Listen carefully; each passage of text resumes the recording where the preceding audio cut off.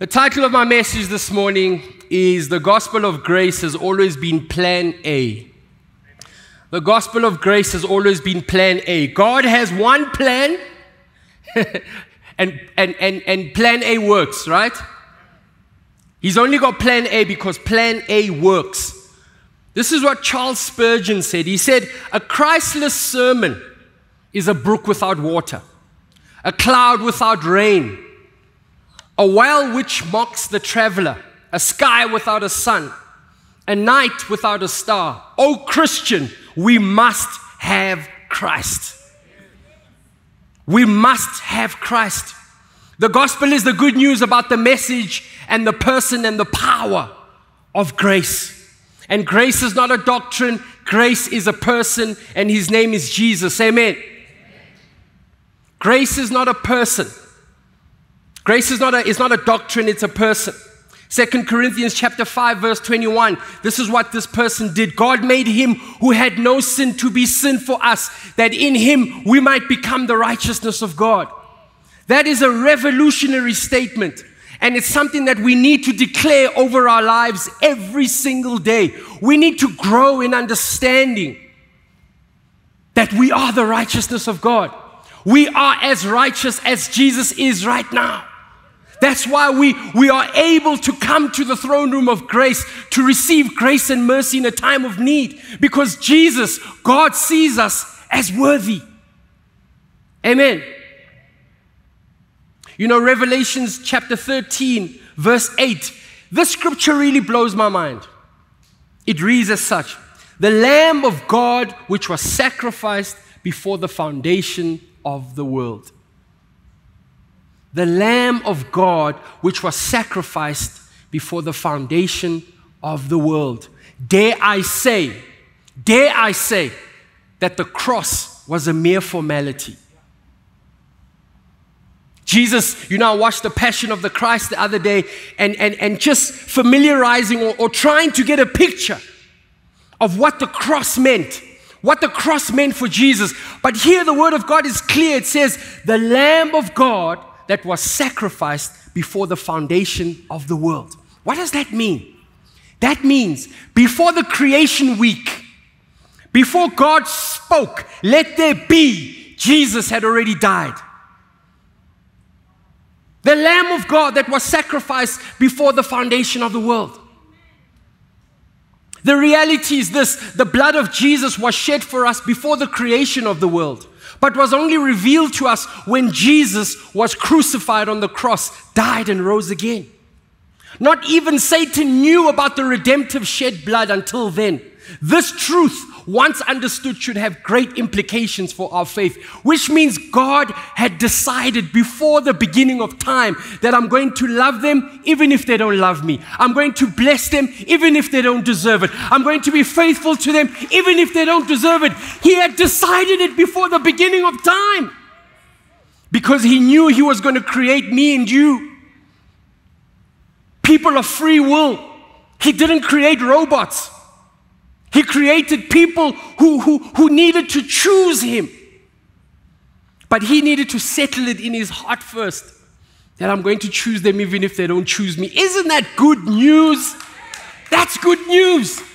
That it was settled in the Father heart of God before he even created us. And that should further prove how much of a free will we've got.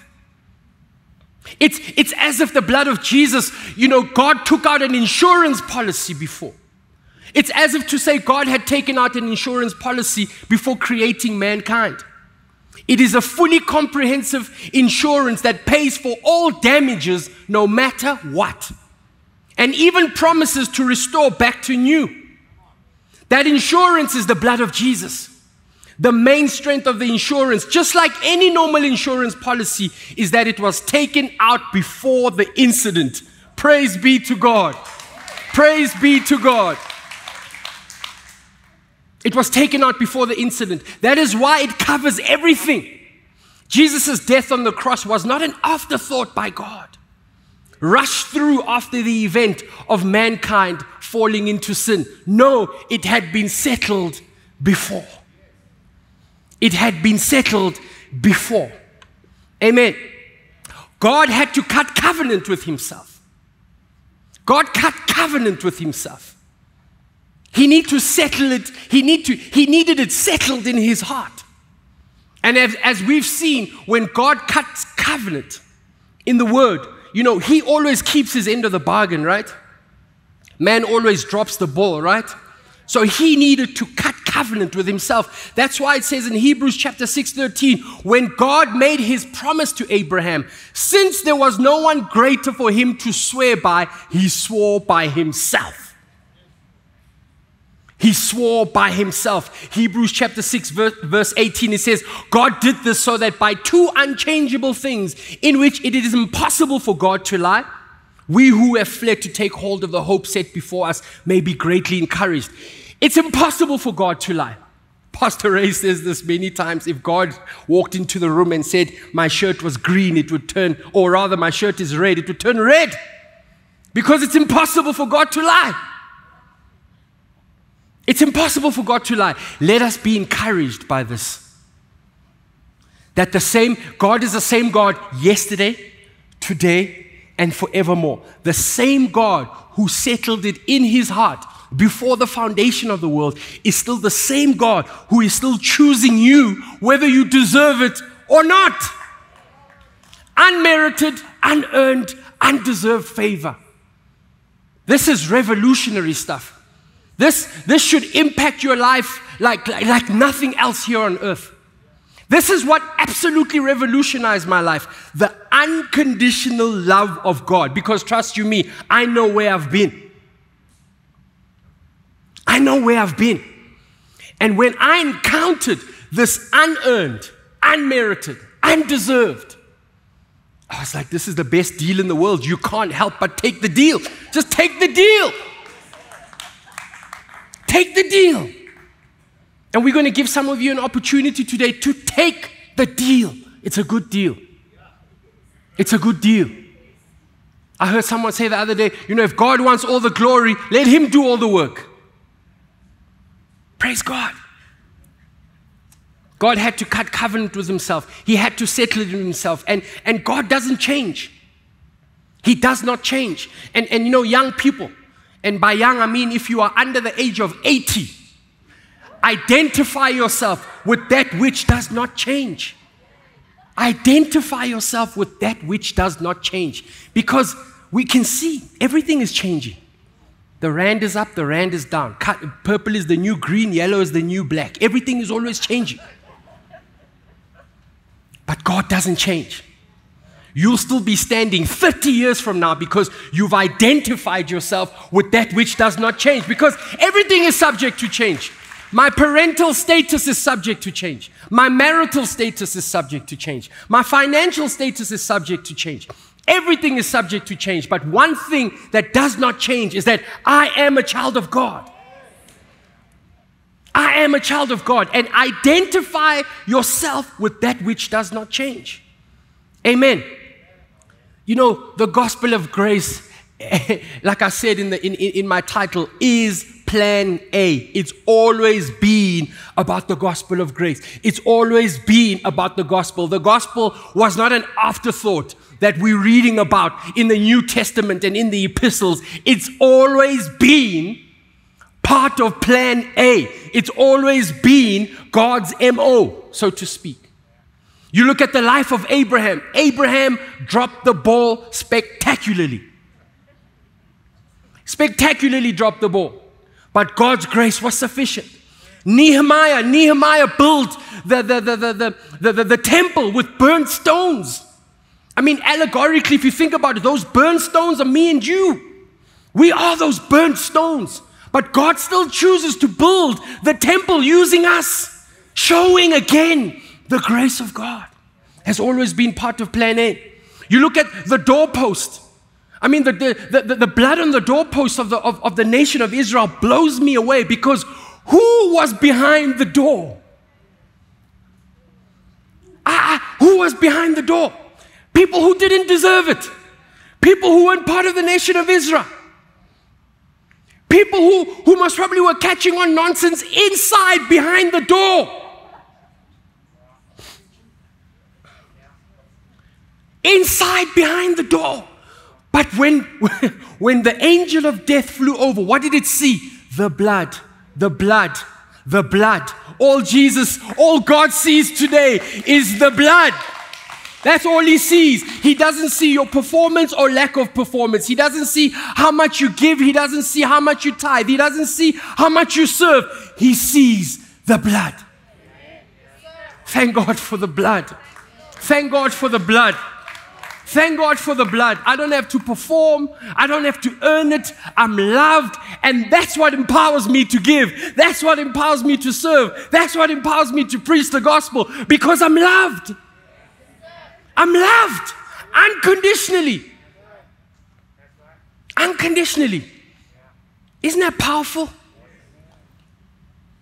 You are loved unconditionally because God settled it in his heart before the foundation of the world. I mean, you look at the picture of Hosea, God instructing Hosea to marry a, a, a prostitute. It shows that it was a, it, it God through, God through the, uh, um, Hosea's marriage to Gomer was a symbol that illustrated his endurance of an adulterous bride. Here we are today as the church. Do we love God with all our heart, all our mind, all our soul, and everything that we have? Let me ask that question. Who in here loves God with all their heart, all their mind, all their soul? Just put your hand up. You're all lying. Liars.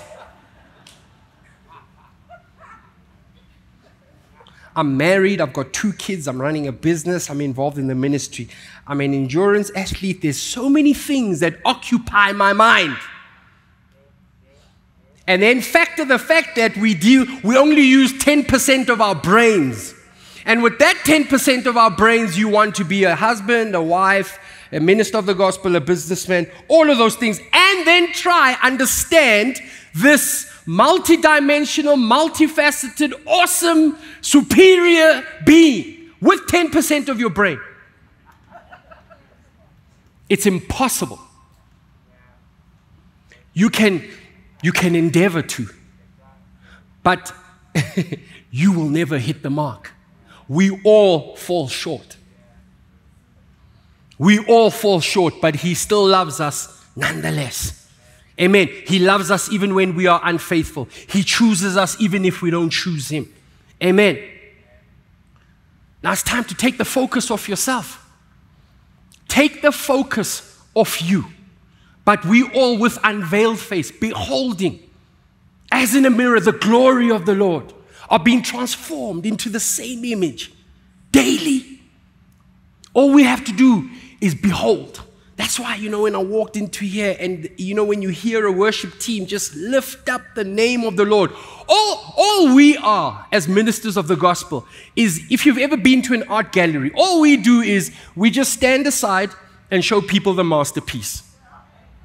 Just stand aside and just say, just look, marvel, look at the cross. Look at how beautiful Jesus is. Look at what he done. Look at, look at what he did. Look, look at the, the, the precious blood. Look at the cross. That's all we do.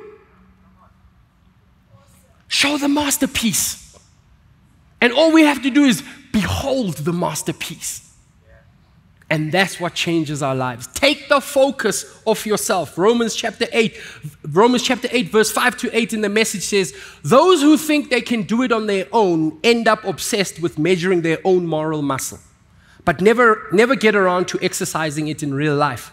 Those who trust God's action in them find that God's Spirit is in them, living and breathing God. Obsession with self in these matters is a dead end. Attention to God leads us out into the open, into a spacious, free life. Isn't that beautiful? Focusing on the self is the opposite of focusing on God. Anyone completely absorbed in self ignores God, ends up thinking more about self than God. That person ignores who God is and what God is doing. Take the focus off yourself because we become by beholding. And I guess the reverse can happen. I've just thought about it for the first time. If you continually beholding yourself, all you'll ever become is yourself. Right? All you'll become is just yourself, consumed with yourself. I say this with so much love. Get over yourself. If you think you have messed up God's plan for you, get over yourself. You're not that powerful. You're not that powerful. Amen. I'm preaching good better than you guys are saying amen. Amen. If you think you've messed up God's plan for you, you haven't. You're not that powerful. He is the author and finisher of our faith. What He starts, He brings to completion. Amen. What He starts, He brings to completion. Galatians chapter 5, verse 4. It says, Christ is become of no effect unto you. Whosoever of you are justified by the law, ye are fallen from grace. If you are justified by your own good works, if you are always obsessed with yourself, you can't partake of, of, of God's riches at Christ's expense. You, you can't partake of it. You are fallen from grace. And I, and I remember I used to think, you know, and, and, and I guess it's, it's, it's quite prevalent in, in, in the lexicon when you hear of a rock star fallen from grace. You know, rock star fallen from grace. Usually it means they're not selling as many records, right? But fallen from grace means you, you, you can't partake of, of, of the unmerited, unearned, un, uh, unmerited, undeserved, unearned favor of God. If, it, if it's dependent on your own works program, you are fallen from grace. And, th- and think about this way grace is a higher standard of living. Partaking of the unearned, unmerited, undeserved favor of God is a higher standard of living. Anything less than that is, is, is second class. Take advantage of God's grace. Take advantage of His love. In those areas where you are failing spectacularly, say, come to Him boldly into the throne room of grace and receive help in a time of need. In those areas where you're falling short. Amen. I don't want to live a life where Christ has become of no effect. I don't want to live a life where Christ has become of no effect. Because He's not going to compete with us, right? It's either he, we rest in the finished work of the cross and he works, or we work and then he goes, okay, sweet, these guys are justified by their own moral muscle. Be my guest. Be my guest. And you know what? No love lost. Be my guest. Let's see how that turns out. Hmm? Christ has become of no effect. Please, let's not live lives where Christ has become of no effect. Let's fully take advantage of the cross of Calvary and what it means, right? Paul says that I may know him and the power of his resurrection. I think it's in Ephesians chapter 1, it talks about, uh, uh, uh, I pray that you grow in the spirit of wisdom and revelation, that we may know him more. That should be, that should be our, our mission to know God more, to know the power of his resurrection, to know what, what, what, what it meant to, to, to hang on that cross that should be, that should be our life's mission to understand this precious gift of salvation. Right? And as I'm sure you guys know, salvation is not us just going to heaven one day.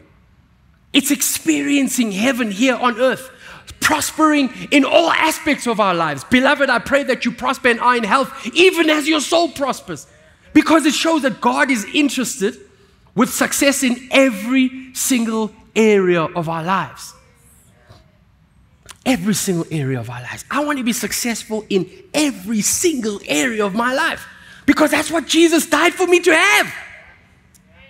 So, whilst we're still here, let's figure out our own salvation and attain it. Attain it because the earth is groaning for the sons and the daughters of God to be revealed. The, the, the, the, world is waiting to see people prospering in every single area of their lives to show that God is who He says He is and He can do what He says He can do. The, word, the, the earth is groaning, waiting for me and you. As signs and wonders, we are called signs and wonders. And what does a sign and a wonder do? It points, it points in a particular direction. So stop justifying yourself by your own works. You can pull out a long list of deeds. You know, my mom goes to a traditional AME church. My mom got born again when I was preaching once at Rhema, thank God. And, you know, she, the old traditional religious setup, as all of you know, is, is a proper works program, right? And, they, they, and, and then they also go to church for four hours, which is another story for another day. they sing this song called Lehodimo la sebeletswa. Lehodimo la sebeletswa, and they sing it for an hour strong. And Lehodimo la sebeletswa means you have to work for heaven. Isn't that heartbreaking? It's heartbreaking. My mom uh, is, is, is like, before she, she got born again, would be tirelessly working, making sure that she's at the church. And there's so many events and so many things going on because she felt she needed to earn the love of God. And I'm like, no, mom, it's paid for. And then we serve from that place. We don't serve to get to that place, we serve from that place. we serve from that place. Heaven is a free gift. Heaven is a free gift. No one earns heaven, no one deserves heaven. I mean, even, even going to hell.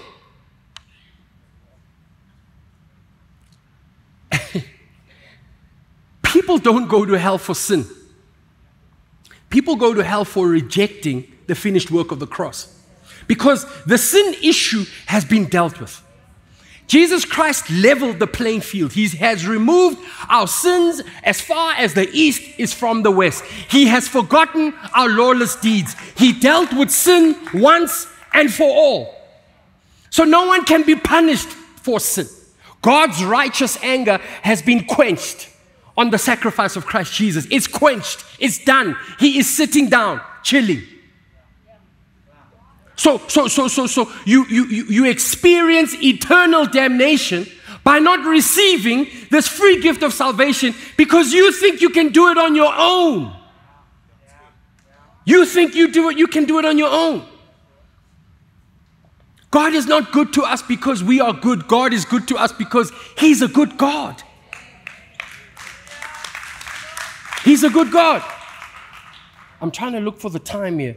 Is that me? 9941 down. Even going to hell is not enough to pay for the debt of sin. It's not enough. There is only one sacrifice that was enough, and that was on the cross of Calvary. And that was on the cross of Calvary. And, and you know what? You always have to put this disclaimer, unfortunately. I'm not advocating for lawless, lawlessness. Sin has consequences. Sin has consequences. You sleep with somebody's wife, the cops are coming. You, you, you, you, you submit an irregular tender document, the cops are coming. You take money out of the offering bucket, the cops are coming. But God's unconditional love does not change towards you. Sin has consequences, right? Sin has consequences. Hmm? I want to ask this question How much is enough if you're going to be justified by your own works? How much is enough? What, do we have a barometer that measures that goes, okay, fine, now I've done enough? How much is enough? How, how much tithing is enough? How much serving is enough? How much, how much singing in the worship team is enough? How much praying is enough? Is there, is there a standard? Can you share with me what the standard is? There, is no standard. There is only it, the, the, the sacrifice of Christ Jesus was enough. Jesus is enough. Amen. He came to fulfill the law. You know, I always tell students whenever I minister at campuses, I'm like, it's as if Jesus, you know, went to, uh, um, you know, uh, RAU, or, you know, well, they don't call it RAU anymore, UJ. I'm giving away my age, right? It's as if Jesus went to RAU, wrote the exam, or rather went to UJ, wrote the exam, got a, got a, got a summa cum laude PhD. He passed with flying colors. And then he walked out into the courtroom, called all the students, you know, all of us, he called us. He says, Because I have passed, you have passed. Pass one, pass all.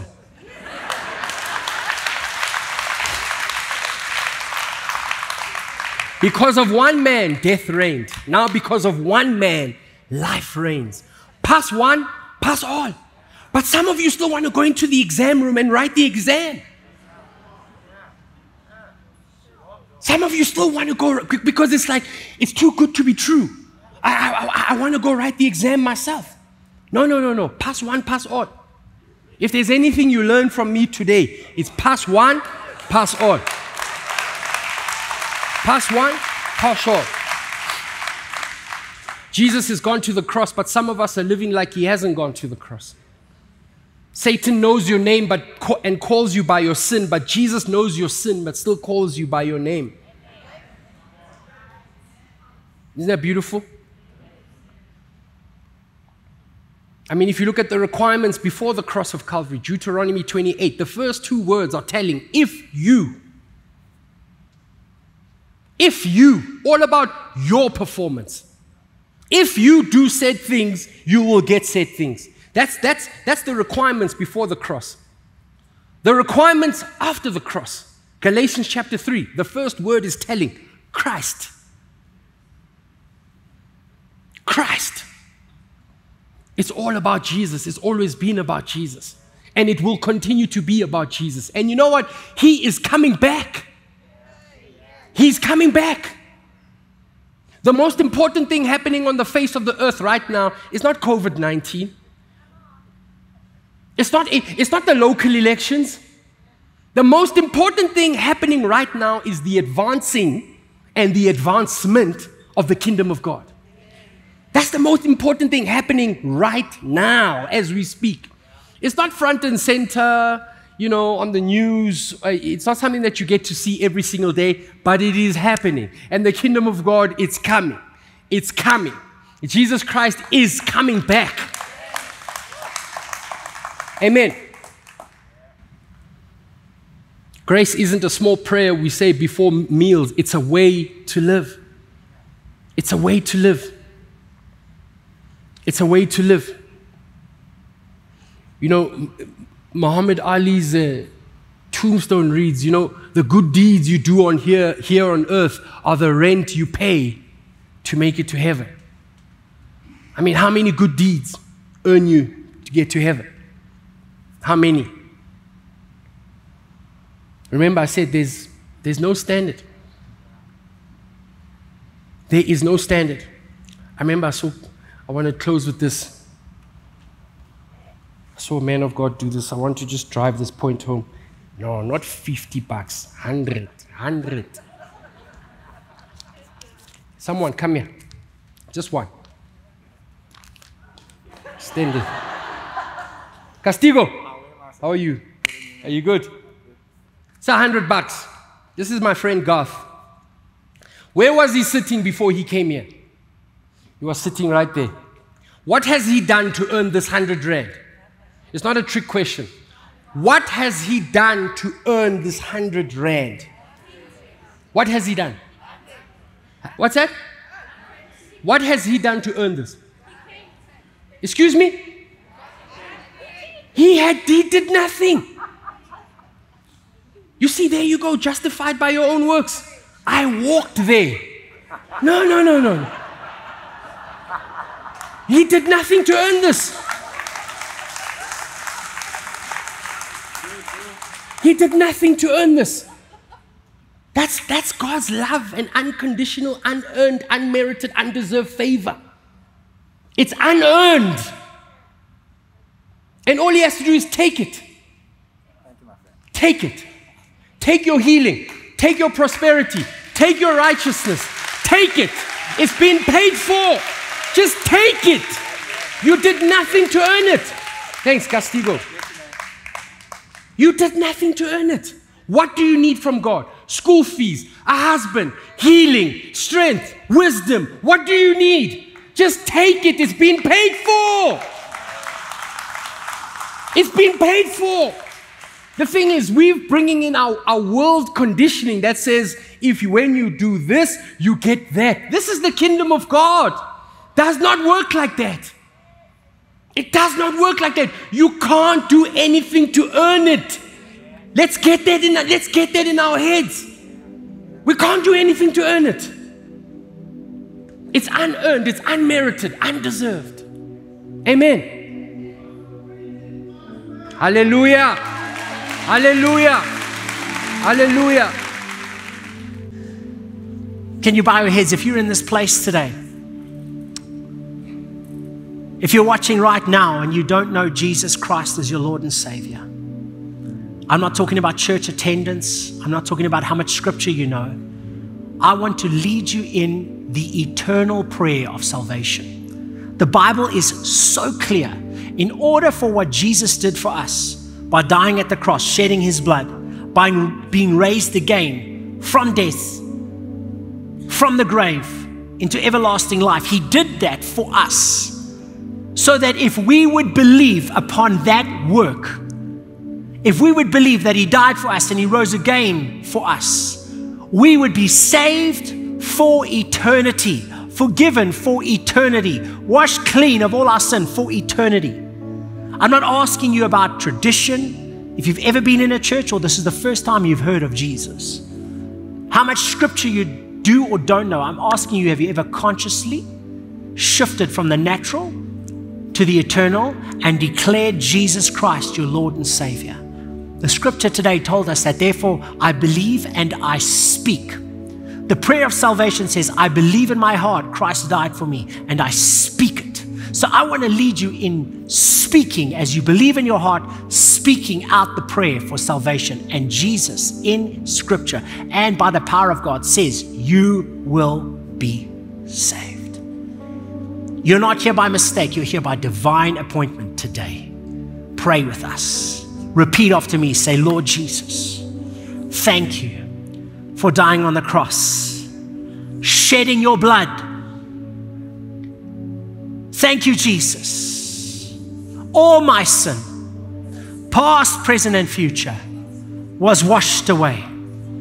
And when you rose again, you secured my eternal salvation. Today I declare, you are my Lord, you are my Savior.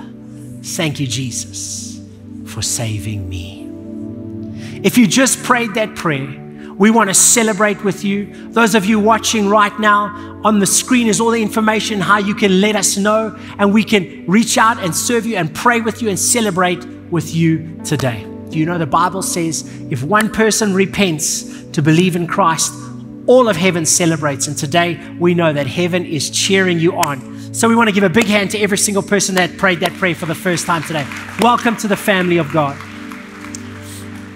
We're going to receive communion together right now if we can. Just take out your communion elements. Those of you that are watching right now, you can get communion at home and just grab some bread and some juice. Those of you in the room, take out your communion elements.